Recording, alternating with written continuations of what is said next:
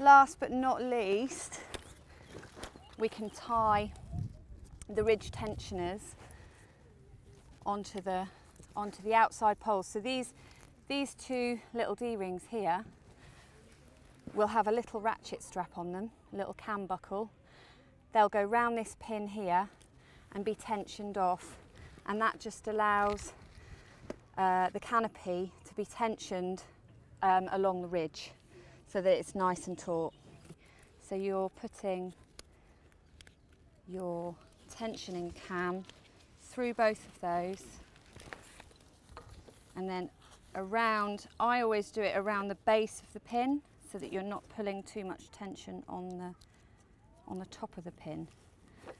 And you're pulling those through and tightening them.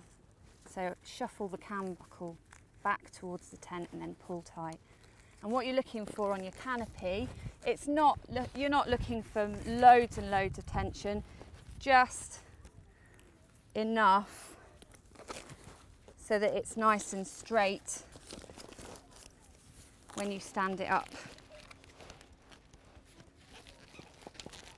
So shuffle that round and have a look. And that looks pretty good. That's nice and tight along the ridge. It's not, it's not really, really pingy. You're just wanting it to be, you know, sturdy.